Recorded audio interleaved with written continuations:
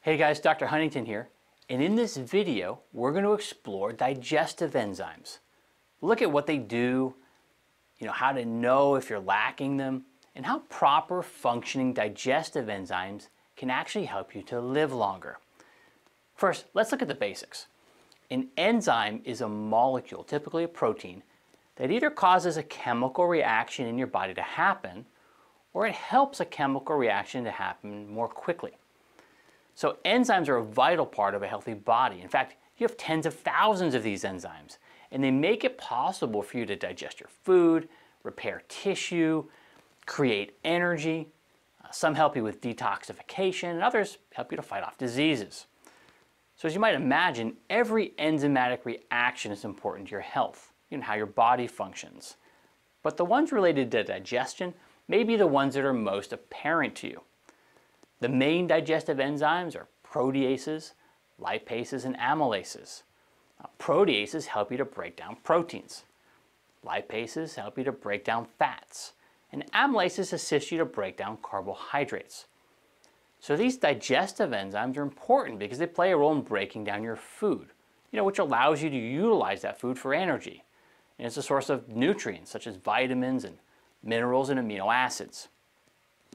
Now, your body makes these digestive enzymes, but under normal circumstances, you should be getting enzymes in your food as well. An example many people are familiar with would be the enzyme bromelain, which you get when you eat pineapple, or the enzyme papain, which you get when you eat papaya. But there are many other foods that have enzymes in them, right? And you should be getting those. You see, you can get enzymes from raw, uncooked foods, you know, but as soon as you cook or process a food, most of the enzymes are destroyed. And so when you eat mostly cooked or processed foods, your body has to draw more heavily on its own enzyme supply. And when your enzyme reserves become depleted, it sets off a cascade of problems, which, which can include uh, taxing your immune system. Now, when you're younger, your body can make up for the enzymes which are missing from your diet. You know, but this ability decreases as you age. So much so that by the time that you're 40, you might have 25% less enzymes than you had when you were a kid. You know, so a diet of refined, processed, and cooked foods coupled with slowing enzyme production as you age sets you up for enzyme depletion. And on top of that, any type of chronic illness tends to deplete enzymes as well. So if you have digestive problems or high blood sugar, high cholesterol or arthritis, any kind of endocrine problem or stress-related problems, if you have problems with weight management, or any kind of inflammatory issue, you're more likely to be enzyme deficient. Now, you might be enzyme deficient and have no recognizable symptoms. But there are symptoms that indicate a digestive enzyme deficiency. You know, these would include like feeling bloated or burping after meals, um, stomach cramps or heartburn, possibly feeling tired after you eat. You are suffering from allergies or food sensitivities.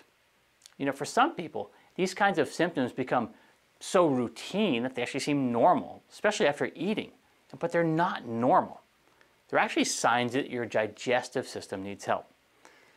Of course, it's not just the lack of enzymes that stresses your digestive system. I mean lifestyle factors like exposure to cigarette smoke or pesticides, you know, medications and chronic stress. You know, these also stress your digestive system. But the good news is that increasing the amount of enzymes in your body can help to reduce the stress. Now, enzyme deficiencies contribute to problems like food allergies and chronic diseases, even premature aging. You know, for instance, joint pain and gout come from undigested nutrients that form uric acid crystals. And poor protein and fat digestion can cause bad circulation and metabolic exhaustion. You know, that can lead to chronic fatigue. In fact, undigested food particles can trigger negative immune responses, resulting in all kinds of diseases. All right, so it should be clear that enzymes are important to your health. So who needs to be worried about this? Well, everyone. no matter your age or level of health, should ensure that your diet has plenty of raw, uncooked whole foods. But you need to pay particular attention if you fall into one of these categories. First, if you're 30 years old or older, because starting at about 30, your body starts making less enzymes. Um, if, you're, if you're on any sort of medication on an ongoing basis, you know, blood sugar pills or cholesterol, high blood pressure, thyroid medication, because that means your body's not functioning right. And so you need to make sure you're getting enough enzymes. And if you have food allergies or sensitivities, you know, or if you have symptoms after eating, like bloating or burping or fatigue, if you fall into one of those categories, you need to increase your enzyme consumption. And you can do that in one of two ways, ideally both.